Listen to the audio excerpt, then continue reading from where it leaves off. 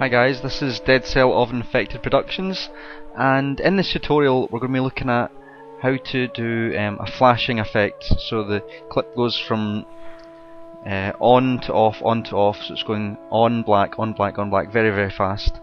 Um, you may have seen this at the beginning of Surreal 2 uh, when the guy's at the back of Cobble with an op, it's flashing to the time of the music.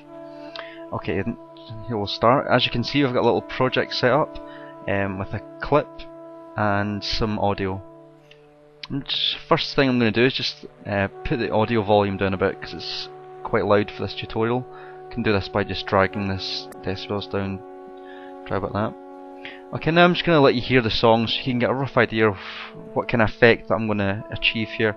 Basically, I want it to be in time with every, well, all the drum, the fast drumming at the beginning.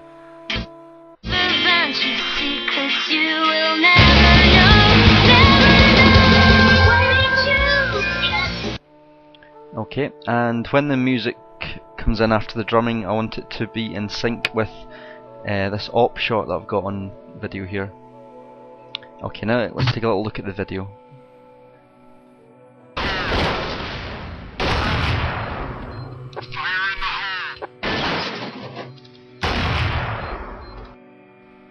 Okay, as you can see, um, first of all the audio is very loud as well, so I'm going to turn down this quite a lot down to about there.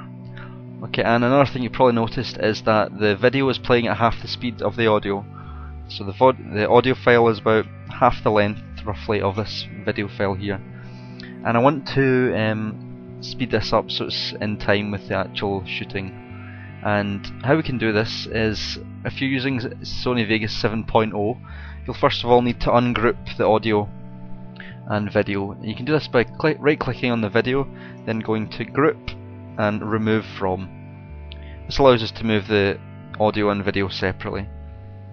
Now I want to hold and I want to make this video the same length as this audio file here and what we do is we hold down control on the keyboard and when you hover uh, above the right hand side of the video it goes into a little wavy line just click and drag until it's the same length of the audio and now, now it'll be in time with the actual shooting.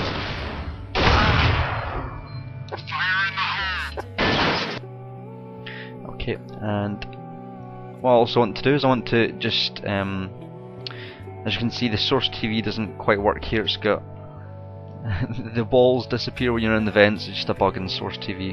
So I'm just going to cut up to the point of where the bug comes in, which is about there.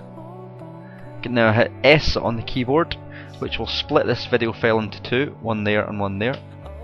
And I'll delete the second half. And I just want to do the same with the audio. So select it, press S on the keyboard and delete the right hand side. So I've just got this video file with audio here. Okay, next thing I want to do is I want to select them both by selecting the video and holding control and also selecting and the audio. This allows me to move both at the same time and now I'm just going to move it back in in time with the the audio here. Okay next thing I'm going to do is I want the first bit when he's doing the running into the vents to be in slow motion until it gets to the point of the shot there. So what I want it to do is I want it uh, to split the video up into its separate parts. So I want the first bit to be of the running and then when it actually gets to the shot I want it to going to normal speed there. So I'm going to hit, uh, with both the audio and video selected, it'll hit S on the keyboard, which will split the two. Now uh, I'm going to drag this back and split these up. Okay, now I've got two two sections here. I can just play this. Okay, we obviously want the video to start flashing when the music comes in. You can see this in the volume wave here. It gets very loud round about this section. So I can use that as a rough guide. Okay, now what we're going to do is we speeded the clip up so it was the same uh, speed as the audio, but now I want to actually slow it down because we don't have enough video really to play with here. And we do this by selecting both the audio and the video by holding down control to select them both. Then holding down control once more we can make the video longer. roughly about this twice twice the length. Should be fine. And then delete the audio. It sounds a bit messy when you slow the audio down. Won't sound too great. So I'm gonna play that back.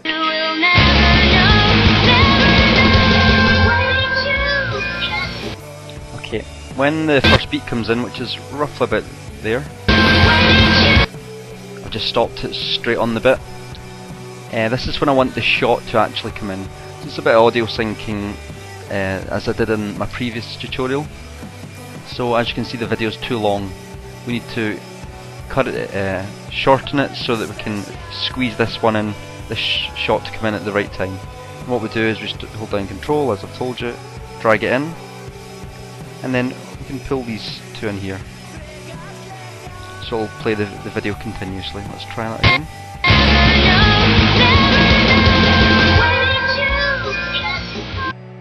Absolutely bang on, I think. It's absolutely perfect. Okay, and as I said before, I want this to be flashing on and off. So I want it to be black, then video, black video, black video, black video, very quickly. And the way we can do this, there's actually a number of ways, but the method that I'm going to use is splitting the video up into maybe about 20 bits, 20 short bits. The way we do this is good idea to use the arrow keys here. You can move along like that.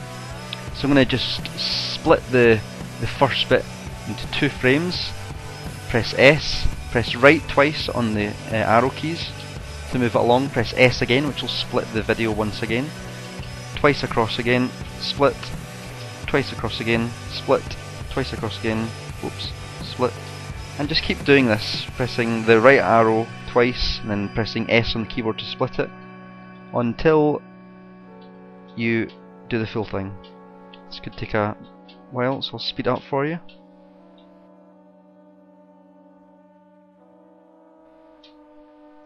Okay, that's me split the video up into many parts as you can see. And because I've not actually deleted anything, it's just going to play the video continuously, although it is actually split up into many different video parts.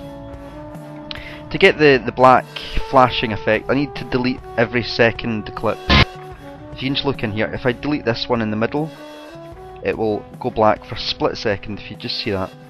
So if I delete uh, the next, the second one along, and the second one along, second one along, if I just keep doing that until I get an on-off pattern throughout the full video, so I'm selecting the video and pressing delete. You get the idea.